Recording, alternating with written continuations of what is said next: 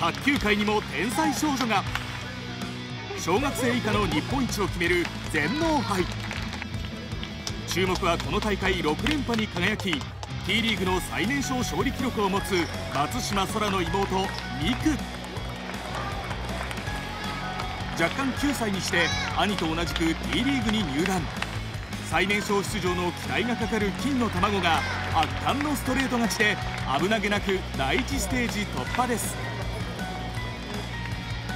さらに12年生の部に出場した末っ子6歳のアイラもオールストレート勝ちで第1ステージ突破。姉妹でのダブル優勝を目指します。